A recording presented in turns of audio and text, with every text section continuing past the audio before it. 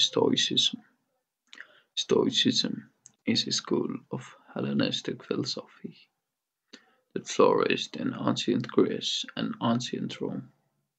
The Stoics believed that the practice of virtue is enough to achieve eudaimonia, a well-lived, flourishing life.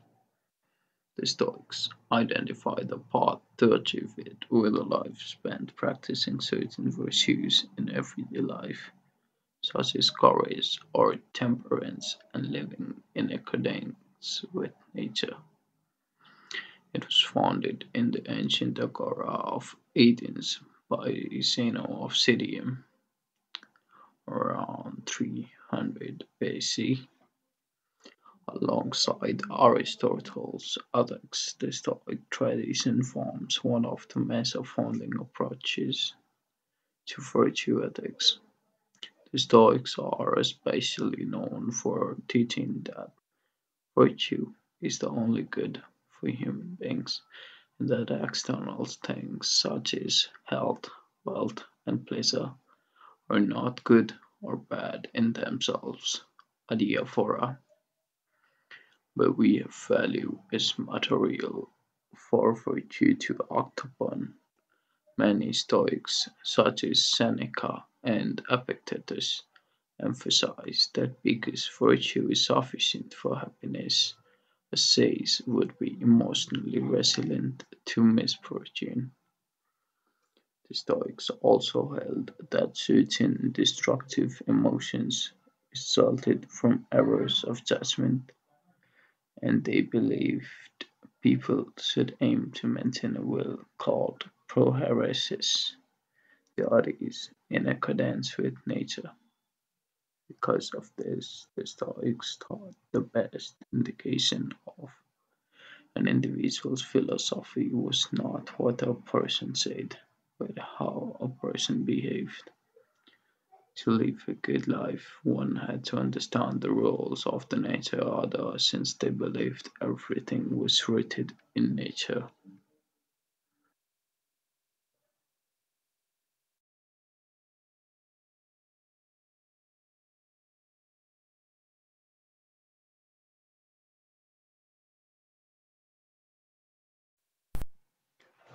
Stoicism flourished throughout the Roman and Greek world until the 3rd century AD, and among its adherents was Emperor Marcus Aurelius.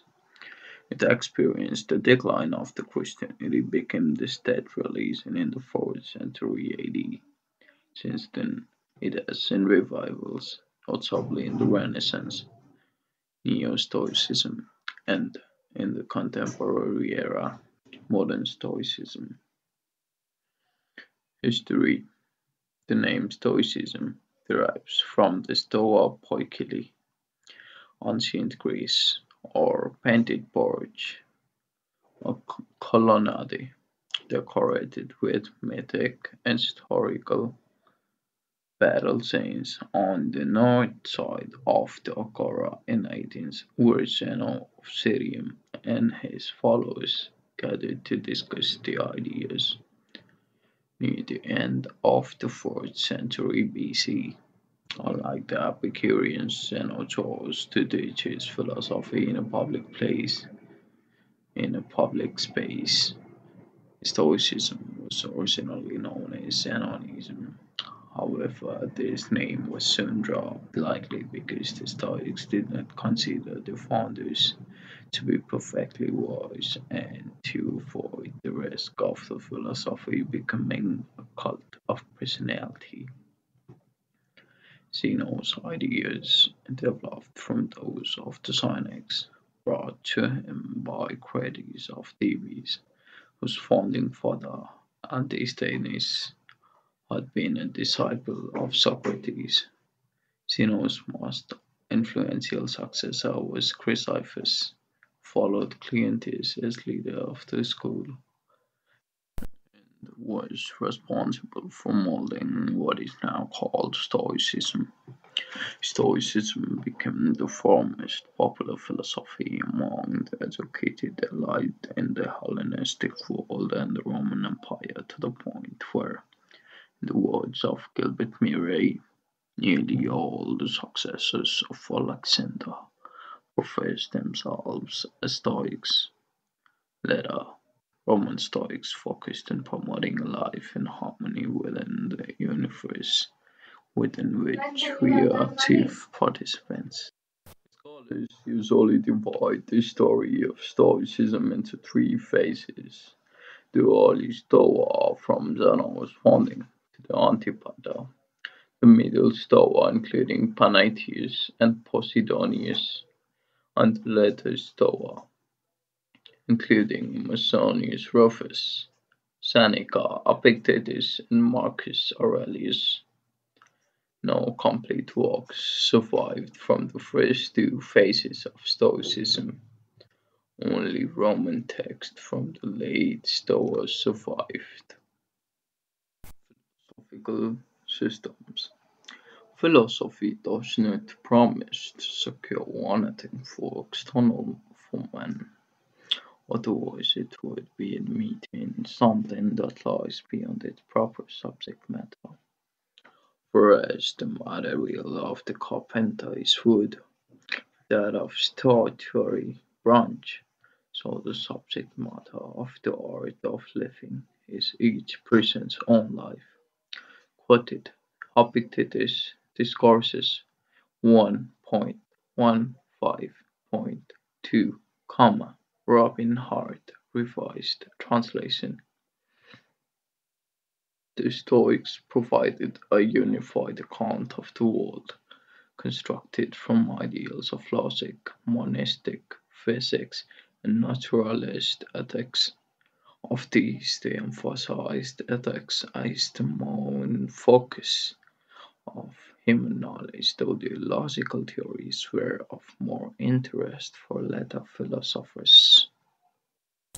Stoicism teaches the development of self-control and fortitude as a means of overcoming destructive emotions.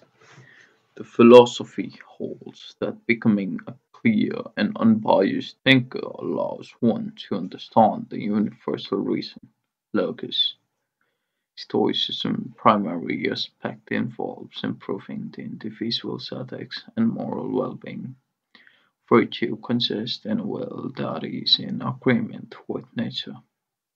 This principle also applies to the realm of interpersonal and relationships. To be free from anger, envy, and jealousy, and to accept even slaves as equal of other men, because all men alike are products of nature. The Stoic ethic espouses a deterministic perspective in regard to those who lack Stoic virtue. Cleanthes once opined that the wicked man is like a dog tied to cart and compelled to go wherever it goes.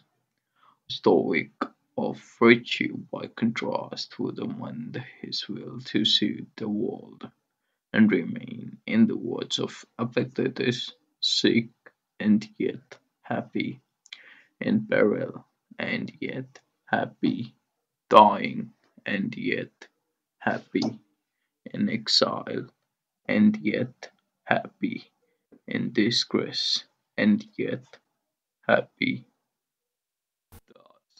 resides in a completely autonomous individual will and at the same time in the universe studies a rigidly deterministic single whole. This viewpoint was later described as classical pantheism and was adopted by Dutch philosopher Baruch Spinoza. Diodorus Cronus who is one of Zeno's teachers, is considered the philosopher who first introduced and developed an approach to logic, now known as propositional logic, which is based on statements or propositions rather than terms, differing greatly from Aristotle's term logic. Later, Chrysippus developed a system that became known as Stoic logic and included a deductive system, Stoic syllogistic, which was considered a rival to Aristotle's syllogistic see syllogism. New interest in Stoic logic came in the twentieth century when important developments in logic were based on propositional logic. Susan Bobzien wrote, "The many close similarities between Chrysippus' philosophical logic and that of Gottlob Frege are especially striking." Bobzien also notes that Chrysippus over three hundred books on logic.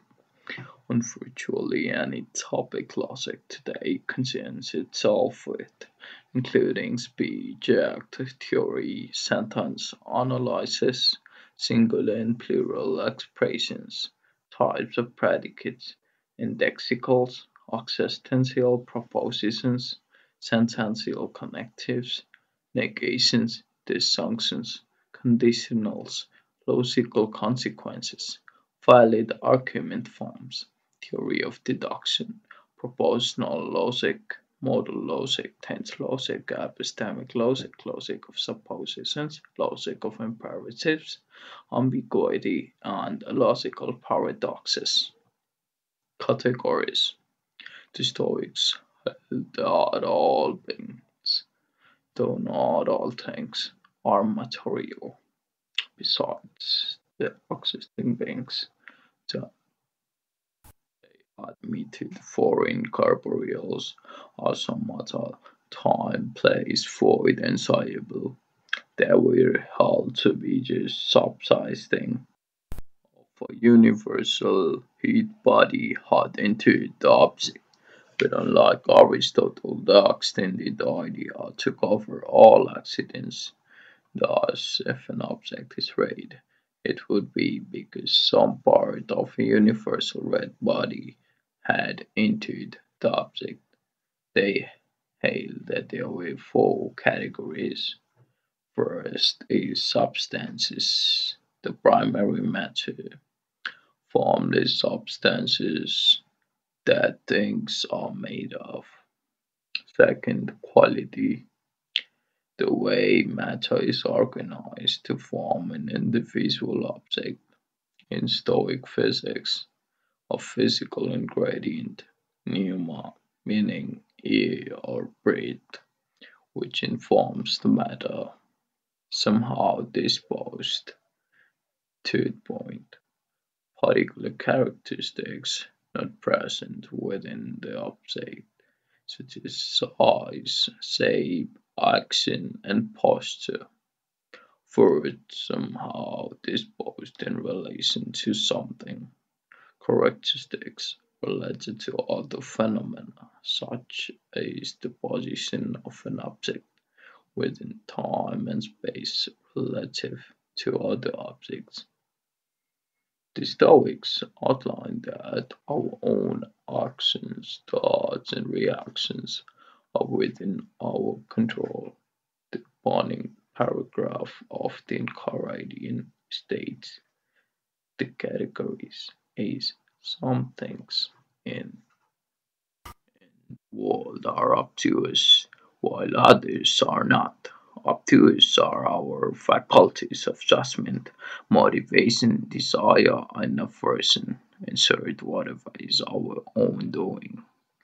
These suggest the space that is us are within our power. A simple example of the Stoics categories in use is provided by Jacques Brunschwig. I am a certain lump of matter, and thereby a substance, an existent something, and thus far that is all. I am a man, and this individual man that I am, and thereby qualified by a common quality and a peculiar one. I am sitting or standing, disposed in a certain way. I am the father of my children, the fellow citizen of my fellow citizens.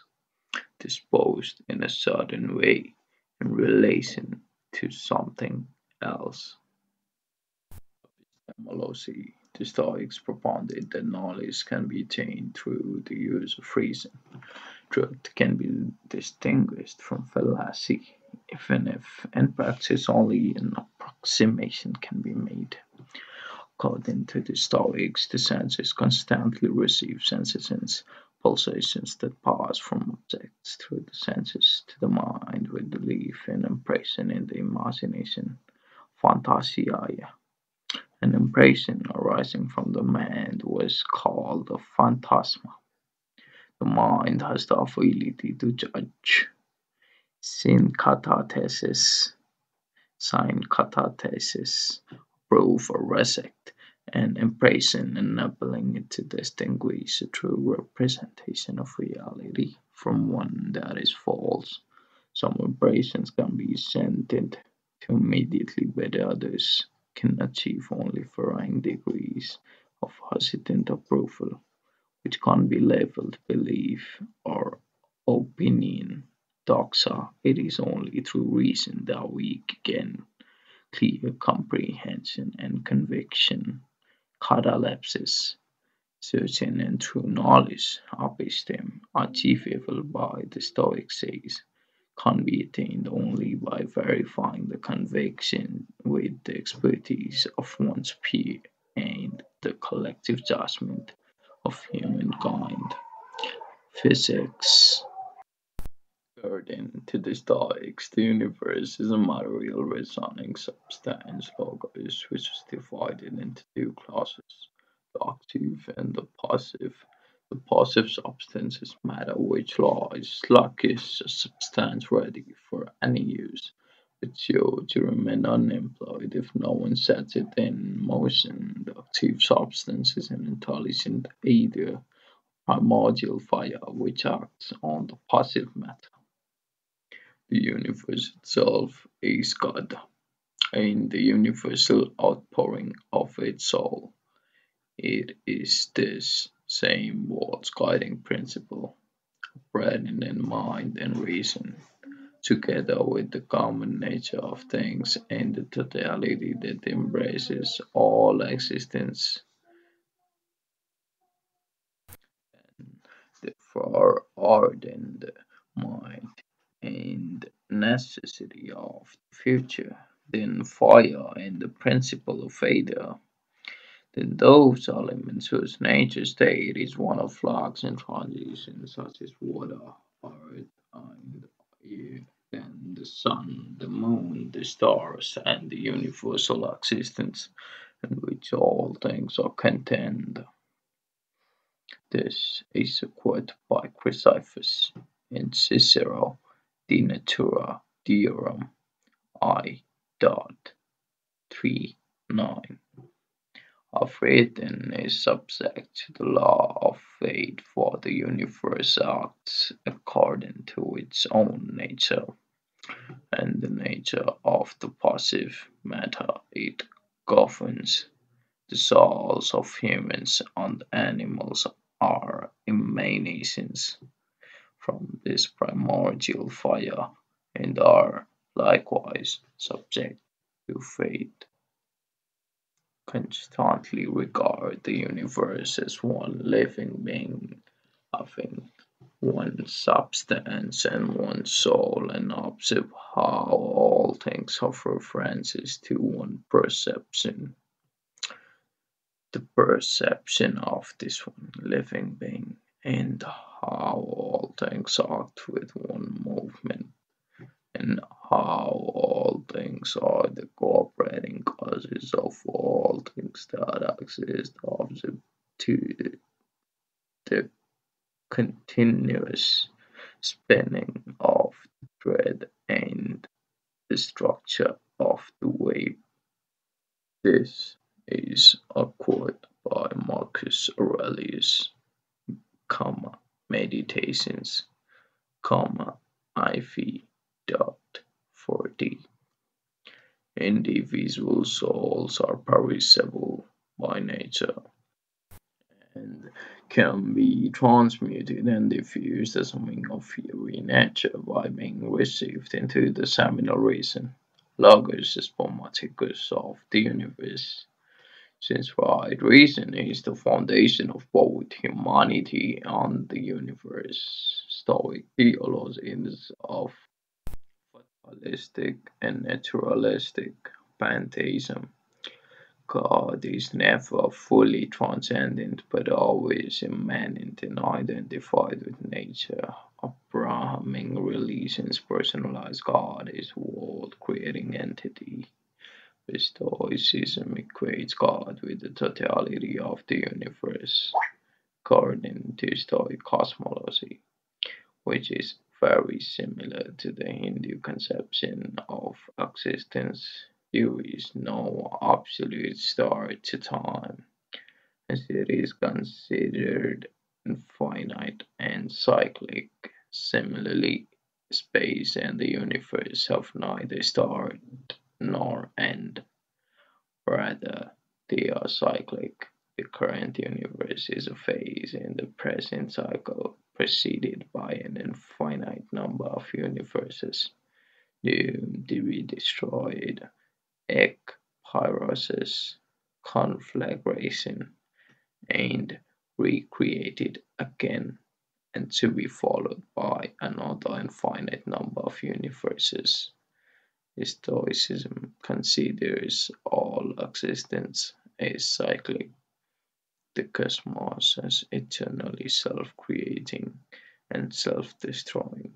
See also eternal return. Stoicism does not posit a beginning or end to the universe. According to the Stoics, the Logos was the active reason or anima mundi, pervading and animating the entire universe. It was conceived as material and is usually identified with nature or God. The Stoics also referred to the seminal reason, logos spermaticus, or the law of generation in the universe, which was the principle of the active reason working in inanimate matter. Human, too, each possesses a portion of the divine logos, which is the primordial fire and reason that controls and sustains the universe. The foundation of Stoic ethics is that good lies in the state of the soul itself, and wisdom and self control. One must therefore strive to be free of the passions. For the Stoics, reason meant using logic and understanding the processes of nature. The logos of our universal reason, inherent in all things. The Greek word pathos was a wide-ranging term indicating an infliction one suffers. The Stoics used the word to discuss many common emotions such as anger, fear, and excessive joy. Passion is a disturbing and misleading force in the mind which occurs because of a failure to reason correctly.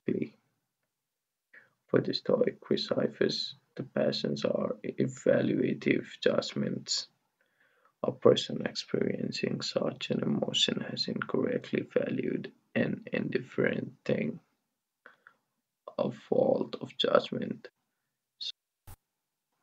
Some false notion of good or evil lies at the root of each passion. Incorrect judgment is to a present good gives delight, while lust is a wrong estimate about the future. Unreal imaginings of evil cause distress about the present or fear for the future. The ideal Stoic would instead measure things at their real value and see that the passion are not natural. To be free of the passion is to have a happiness which is self-contained. There would be nothing to fear, for unreason is the only evil No cause for anger for others cannot harm you. The Stoic arranged the passions the four headings: distress, pleasure, fear, and lust. One report of the Stoic definition of these passions appeared in the treatise of on Passions by Pseudo Andronicus, translation long and Sedley, page 411, modified. Distress, UP Distress is an irrational contraction or a phrase opinion that something bad is present, at which people think it is right to be depressed. Fear, phobos. Fear is an irrational aversion or avoidance of an unexpected danger. Lust, epithumia. Lust is an irrational desire or pursuit of an expected good, but in reality bad. Delight, delight, hedon. Delight is an irrational swelling or a fresh opinion that something good is present, at which people think it right to be elated. Two of these patients, distress and delight, refers to emotions currently present, and two of these, fear and lust, refers to emotional directed at the future. These two just two states directed at the prospects of good and evil, but subdivided as to whether they are present or future. Numerous subdivisions of the same class were brought under the head of the separate passions. Table Present Good Delight Future Good Lust Future Evil Fear. Present Evil Distress. Distress envy, rivalry, jealousy, compassion, anxiety, mourning, sadness, troubling, grief, lamenting, depression, vexation, despondency, fear, sluggishness, shame, fright, timidity, consternation, pusillanimity, bewilderment, and faint-heartedness lust, anger, rage, hatred, enmity, wrath, greed, and longing, delight, malice, rapture, and ostentation. The uh, wise person, Sophos, is someone who is free from the passions of Pattaya. Uh, Instead, the sage experiences good feelings, eupatheia, which are clear-headed. These emotional impulses are not excessive, but nor are they diminished emotions. Instead, they are the correct rational emotions. The Stoics listed the good feelings under the heading of joy, chara, wish, boulesis, and caution, eulabeia. Thus, if something is present which is a genuine good, then the wise person experiences an uplift in the soul, joy, chara. The Stoics also subdivided the good feelings joy, enjoyment, cheerfulness, good spirits, wish, good intent, goodwill, welcoming, cherishing, love, moral shame, reverence, suicide. The Stoics accepted that suicide was permissible for the wise person in circumstances that might prevent them from living a virtuous life, such as if they fell victim to severe pain or disease, but otherwise suicide would usually be seen as a rejection of one's social duty. For example, Plutarch reports that accepting life under tyranny would have compromised Cato's self-consistency. Constantia as a Stoic and impeded his freedom to make the honorable moral choices, love, and sexuality. All Stoics differed significantly from late Stoics in the views of sexuality, romantic love, and sexual relationships.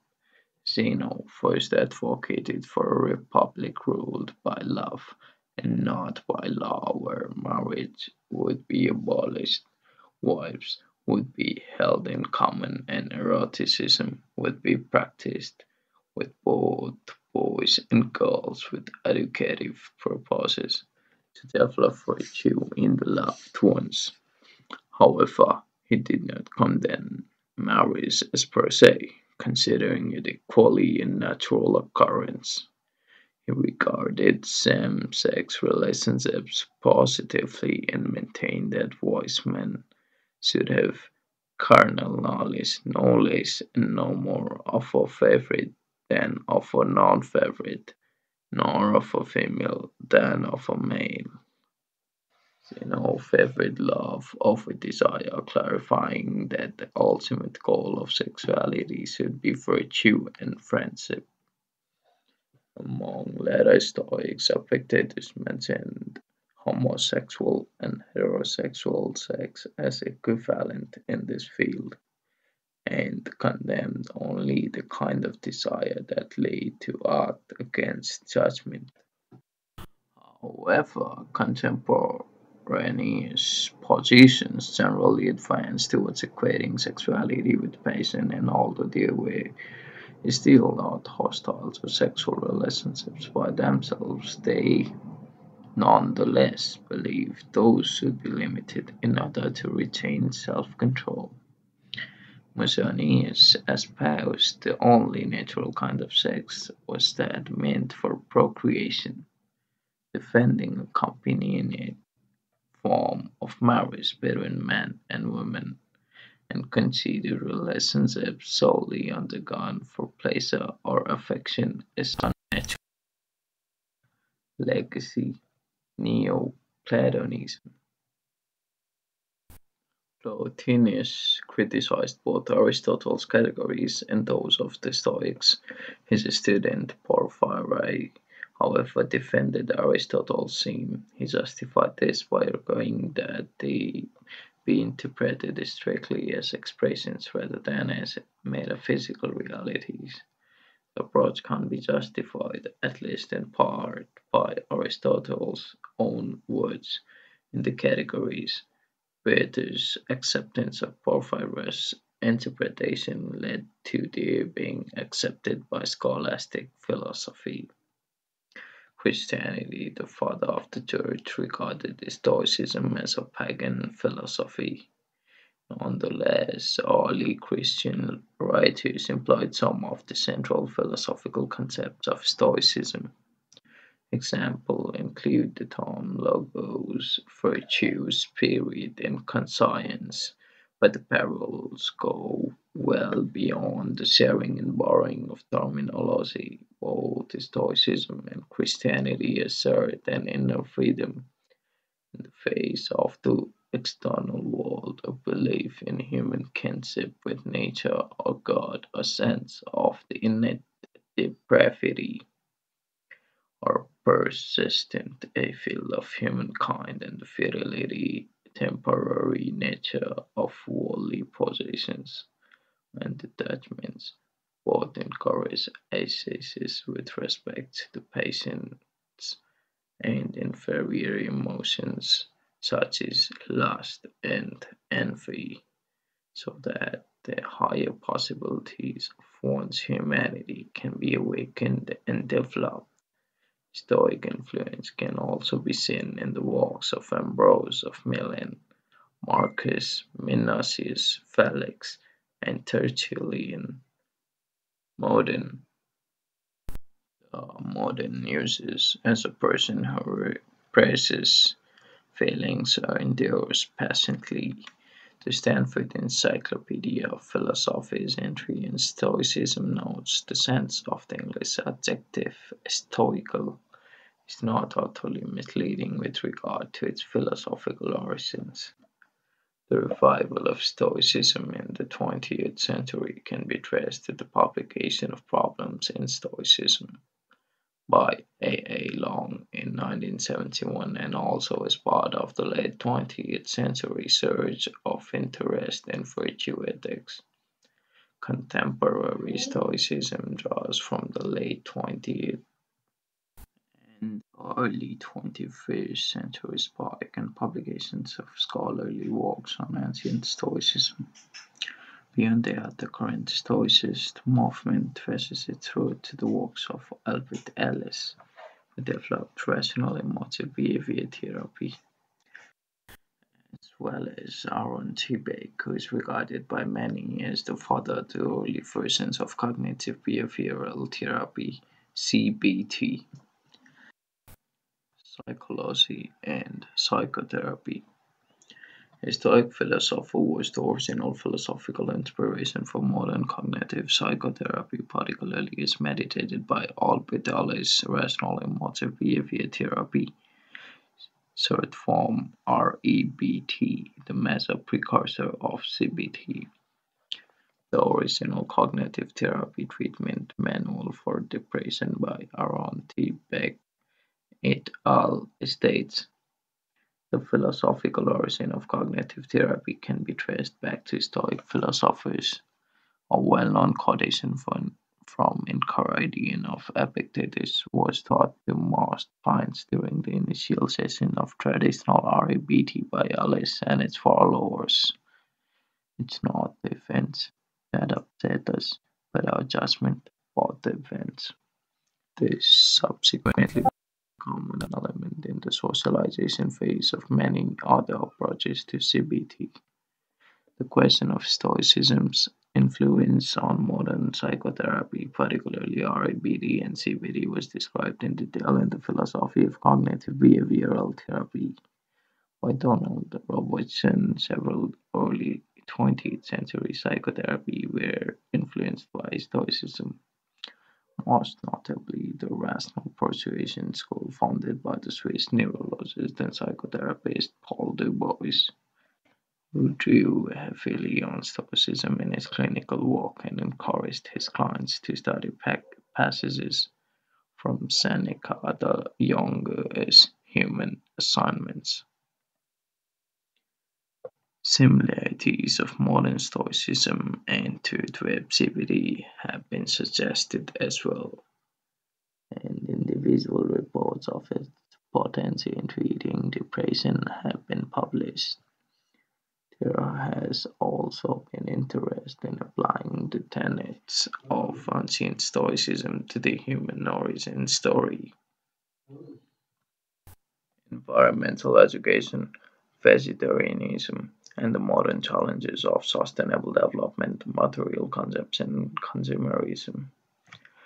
Seamus Mac Suibhne has described the practices of spiritual exercises as influencing those of reflective practice. Many parallels between Stoic spiritual exercises and modern cognitive behavioral therapy have been identified.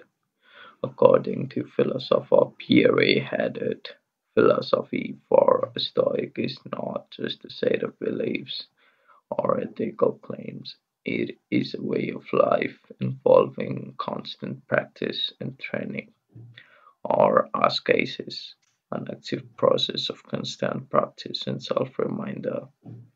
Epictetus in his discourses distinguished between three types of act judgment, desire, and inclination, which Hadot identifies these three acts with logic, physics, and ethics, respectively. Hadot writes that in the Meditations, each maxim develops either one of these very characteristic topoi, that is, acts, or two of them, or three of them. See also amor fati